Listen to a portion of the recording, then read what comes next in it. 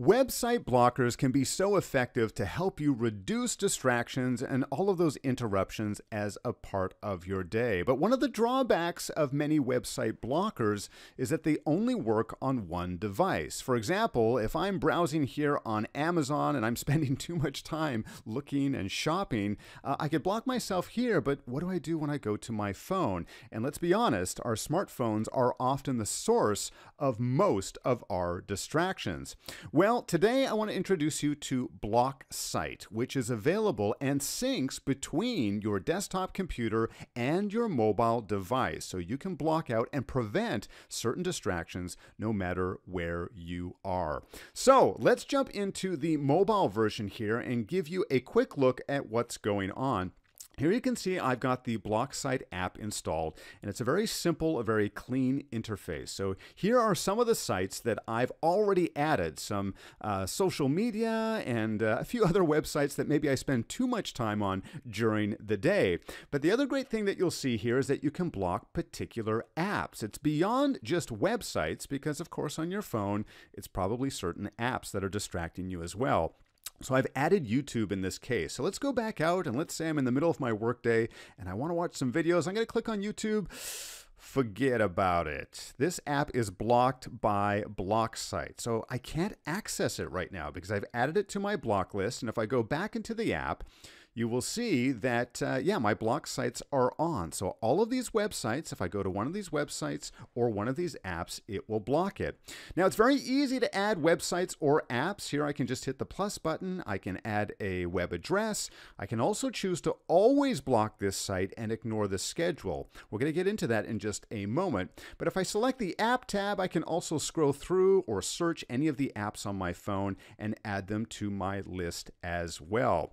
The last thing I want to show you here on the block list is that yes, you can create a recurring schedule. You see this little alarm clock icon in the top right hand corner. If I select this, I can set a particular time. So for example, I've set a schedule right here that between 9 a.m. and 11.30 a.m. Monday through Friday, all of those websites and those apps will be blocked. I don't have to set this manually. I don't have to come in here and uh, start a clock or something along those lines. However, we all work a little bit differently. So the second tab on the bottom of the screen here is work mode. You can have a different block list for a particular time of day or particular part of your week versus when you're actually working. They can be the same list if you want, or they can be completely different. So here you can see I've got a bit of a different mix of websites and apps here, but I also have a timer option. So very much like using the Pomodoro technique, what you can do is you can set a custom made interval and I can say, okay, for the next 25 minutes, I've really got to get this done. So I'm going to hit the play button and now I will not be able to access those apps. If I go back out here, uh, the Play Store was one of the apps that I included on my list. So if I click on the Play Store, ah, stop horsing around. I, I can't do it. I can't go in here right now because I should be working. I should get back to work. Let's go back to, uh, to BlockSite for an example. Uh, so here, the timer is going to keep on going and it's going to count down. It'll let me know when the timer is up and then I will be able to go back to those sites as well. So depending on how you like to work or what you think is going to be most effective for, for you, what's going to be most effective for you for blocking sites, you can choose the way you want to use it. Now, the last option we have here on the mobile site is the adult block option. And this is if you want to make sure that you're blocking content, mature content, things that are intended for 18 plus. But like I said, one of the great things about BlockSite is that we can do this on both the desktop and the mobile version. So let's jump back over to the desktop. All right, so here we are back on my desktop, and let's say I have a tendency to browse and perhaps do too much shopping throughout my workday. So with the Block Site browser extension installed, all I have to do is come up here and I can immediately block this site. I actually don't have to type this in anywhere. If I find myself coming to a website too frequently, I can just say, you know what, block this site put it to my block list. I don't want to be working on this right now. You can see that this little browser interface looks very similar to the mobile version. We've got our block sites, our work mode, so we can start that timer, and the adult block. But let's go into the settings because there's a few additional options we can do here.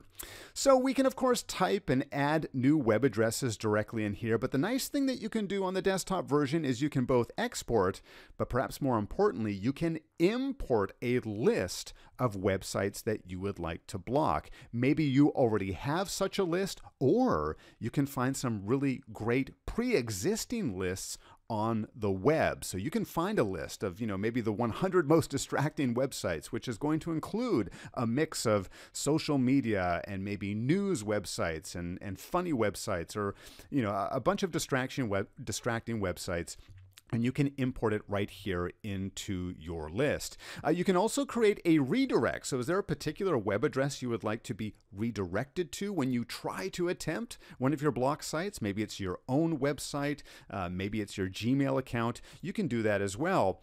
And we already took a look at the schedule, but the nice thing about the schedule on the desktop view is that you can add multiple intervals. So, here you can see I've not only blocked it between 9 and 12, but I've allowed myself, uh, as a part of my lunch break between 12 and 1, I can go to those sites, I can watch some YouTube and do that type of thing. But then I've chosen to block it again between 1 and 2. So you can set up a, a more complex schedule here on the desktop version of the uh, block site app. Uh, we still have work mode. We can password protect. We can also block by certain words, which is an interesting one if there's a certain word that you find yourself going to particular URLs. But again, everything that you see here is perfectly synced with what we have on the mobile version. You're not going to see the apps here because of course your apps are, are very different on your desktop computer than they are on your mobile version. But all of the websites that we saw before are going to be synced. If we jump back into the mobile version, we're going to see that Amazon.com is going to be blocked there as well. So, if you find yourself being distracted or at least being tempted to visit websites or certain apps as a part of your workday, I recommend that you check out BlockSite. BlockSite is available for both Android and iOS devices. And if you have further questions or comments about site blocking, I'd love to hear from you, so make sure to leave me a question in the comments down below. Thank you so much for watching today's video, and remember, being productive does not need to be difficult. In fact, it's very simple.